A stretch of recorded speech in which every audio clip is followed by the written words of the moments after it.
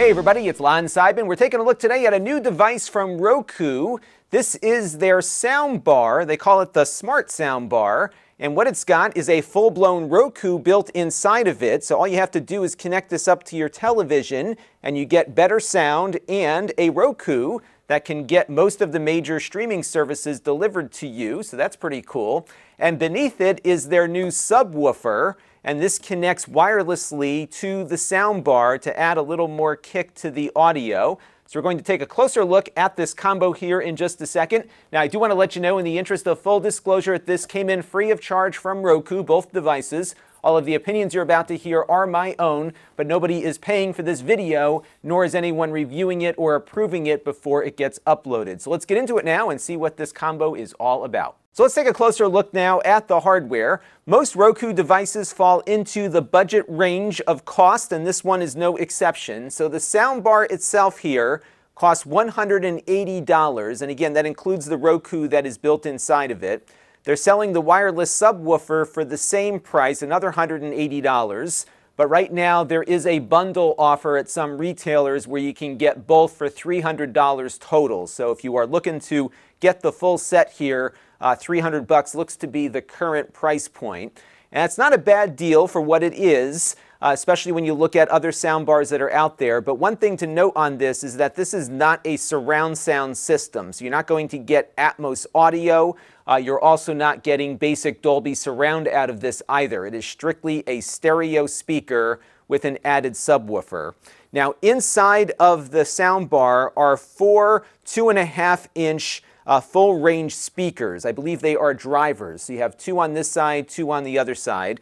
Uh, they sound good. They're really loud, a good range of sound. I do wish the bass was punchier on the soundbar, but I guess that's why you would buy the subwoofer to add a little bit more oomph to it. So it's certainly going to sound better than your TV speakers, a lot better. Uh, the thing that impressed me the most was the quality of dialogue much crisper, uh, much easier to hear and understand. Uh, so if you find yourself having issues hearing your TV all the time, this will certainly solve that problem completely. I can't really portray to you how it sounds in a YouTube video because everyone is listening to this on their own set of speakers, but I can say it's a definite improvement over whatever your TV has built inside of it. And if you're in the market for this, uh, there's a good chance that you are using a pretty uh, low cost TV with some pretty lousy speakers. Uh, this will definitely be an enhancement, although I do wish it had a little bit more bass punch on the bar itself, but of course you can resolve that by getting the subwoofer into the mix. I do find though I'm missing surround sound when I'm playing with this because this is just stereo. There's nothing coming behind you. It's not doing anything to simulate audio coming from behind you. So if you've ever played around with a surround sound system, this is going to feel lacking to you. I do wish they had some additional speakers you could pair up to it so you could have some speakers in the back. Uh, typically, a surround sound system involves, at its simplest level, stereo speakers, a center channel speaker, and two speakers in the back plus the subwoofer. Again, this is just stereo, so everything's coming out in front. And what will happen is, is that a lot of the audio will get mixed into these two speakers. So things that might typically be behind you are going to be a lot of noise coming out of the front at you. Not bad, but just a little different than uh, what I would prefer. So just be prepared. Again, it's not a surround sound system, and there will be other soundbar kits that offer you the full package of rear speakers plus uh, the front facing audio. But this does have a Roku built inside that those don't have. Let's take a look at the connections on the back. Now, Roku recommends that you connect this soundbar to a TV equipped with HDMI ARC, and you will know that you have a TV with ARC because they typically label one of the input ports on your television with that designation. ARC stands for Audio Return Channel, and what that will do is channel all of the audio coming out of your TV through the sound bar. So if you have a game console connected to it, for example, on a different HDMI port, it will fire the audio through the ARC port back to the sound bar, And that port is also how the Roku will connect to your television.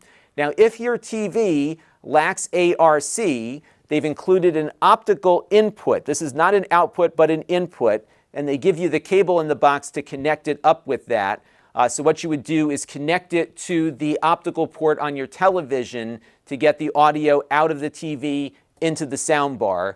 If you lack either one of those options, then uh, this will only give you sound when it's in Roku mode because there's no other input beyond the HDMI and the optical. Uh, so just keep that in mind. I did connect it up to a computer monitor a little bit earlier and the sound was fine out of the uh, sound bar here, but of course any other inputs on that monitor will not output to here. So just keep that in mind. Uh, this will be probably less flexible than a regular speaker system or receiver set that you might be looking at. It's very much tied in uh, with that ARC port on there. Uh, there's also a USB port, and you can use this for playing back your own media files. So you could take a USB hard drive or a USB stick and play lossless FLAC audio, for example, MP3 files, all the popular audio formats are supported. It also supports H.264 and H.265 video. So if you have video that you shot with your phone or perhaps with a camcorder or something else that you've downloaded, you can all uh, play that stuff on here through that USB port there. Now I am disappointed though that it doesn't include an Ethernet jack on it uh, because it does support 4K video, and a lot of streaming services now are pushing a good amount of bandwidth to deliver that video to you, and it's always best to have a very reliable connection to make it happen. So this is Wi-Fi only, uh, but it does have support for wireless AC, so at least you'll get the faster wireless support on here. And I guess because it's not sitting behind your television, but likely out in the open, uh, you'll probably get a better signal, but nonetheless, having an Ethernet option would have been nice.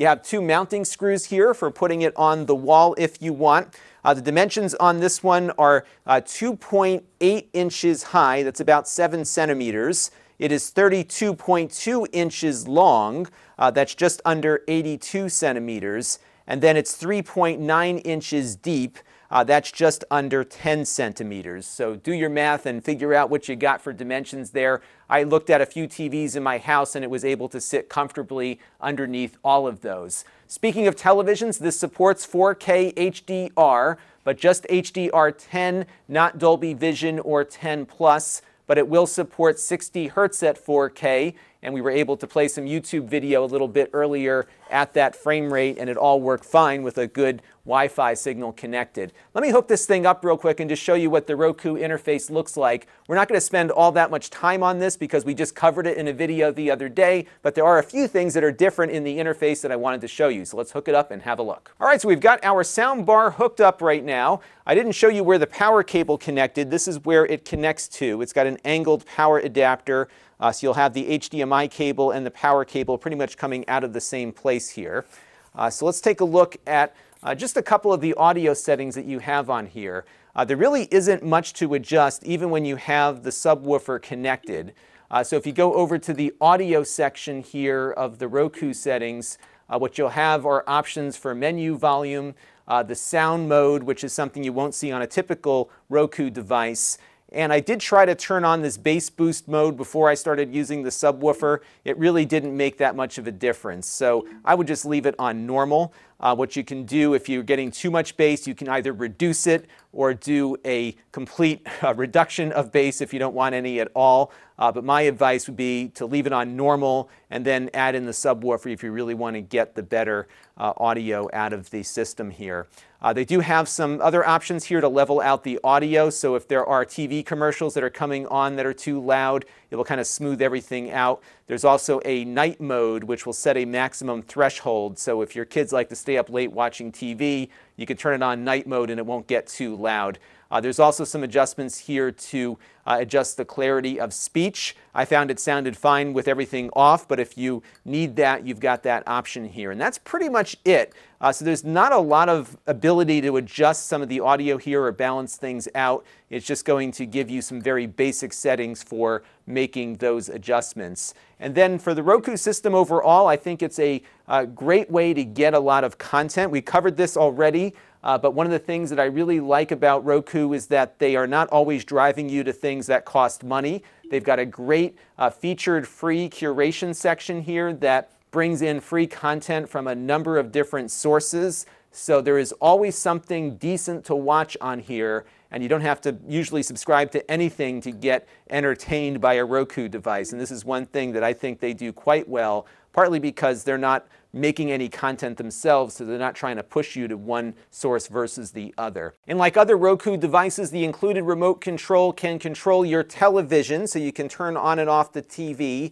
Uh, there's also a way to have it automatically switch the TV into the Roku's input, so you don't have to futz around with too many buttons there. Uh, you got some volume controls here on the side of the remote along with a mute button, and then you can do voice searches with this as well. So I could push the button down, Star Trek The Next Generation. And then what it will do is go out and find all of the different uh, places where I can watch the show. And the nice thing is, is that they're not pushing you to one service over the other. They show you where the show is across many different services, and you can choose which one you want to watch. All good stuff. So let's take a closer look now at the subwoofer and getting that set up. It was a very easy process. I just plugged it into the wall and then went into the menu to pair it up. There was nothing to push on the subwoofer. The soundbar found it immediately, and that was it. Very easy to get it up and running. Let's take a closer look at its hardware. So here is the subwoofer. It stands at about a foot tall. It's about 30 centimeters, give or take. On the bottom, it's got a pretty decent sized sub, a 10-inch subwoofer. Uh, the power output on this is 250 watts peak, 125 RMS. Not bad for what you're getting here for a low-end device, and it sounds really nice when paired up with the soundbar. I believe the subwoofer is also compatible with Roku TVs that have the external speakers paired with them. It won't work on its own with one of the Roku TVs, and it will also, of course, work with the soundbar, which I think is probably the ideal pairing. But that is it. It doesn't work with anything else. There are no other inputs. There are no controls to adjust the uh, frequency response, for example. Uh, they rate the frequency response here at 40 to 200 hertz. Uh, so this is a very much a single purpose subwoofer that's not compatible with anything else. Now Roku says you'll get about 30 feet of range on this, so it should work in most living rooms. I tried it in a few rooms throughout the house and it was able to pair up and work very nicely with all the different scenarios I threw at it. Uh, so pretty simple device. I really wish there was more compatibility or at least some basic inputs on the back so you could repurpose it later. Speakers do last a long time. It will undoubtedly outlast the soundbar it's paired with, uh, but unfortunately that is all you're going to get here. So that'll do it for this look at the Roku soundbar and subwoofer. I think it's a pretty good value overall. It's nice to get a very functional TV streaming box built right into the soundbar. And I think this is going to be very attractive for a lot of people that want to improve their TV audio experience and also want to get a streaming box. You get everything included in here, and the compatibility is really, really good with most of the major streaming platforms that are out there. So that is a good thing.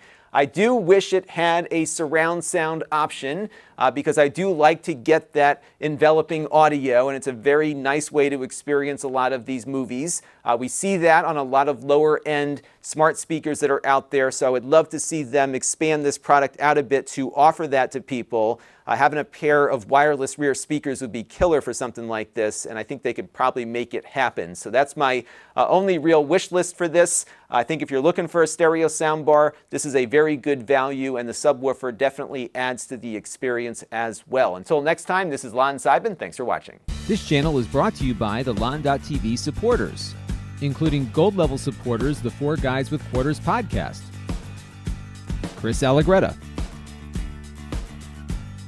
Tom Albrecht, Brian Parker, and Kalyan Kumar. If you want to help the channel, you can by contributing as little as a dollar a month.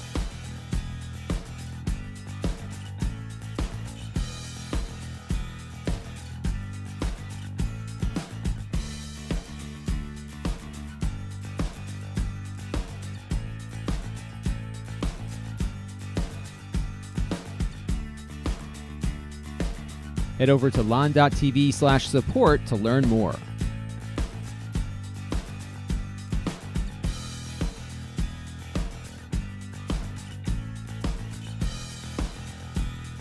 And don't forget to subscribe. Visit lon.tv slash s.